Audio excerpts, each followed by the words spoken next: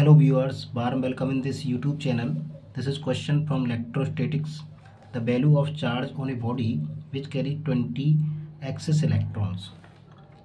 So student here is a body which contain number of electron 20 electrons in excess so n is here 20 and you know that electronic charge is minus 1.6 10 to the power minus 19 coulomb so charge on body is q equal to ne so n is 20 here and e is minus 1.6 10 to the power minus 19 coulomb so 16 to the 30 to 32 into 10 to the power minus 19 coulomb and uh, we can write 32 as 3.2 10 to the power 1 into 10 to the power minus 19 coulomb so this is 3.2 10 to the power 18 minus 18 coulomb is the correct answer of this question which is found in option C.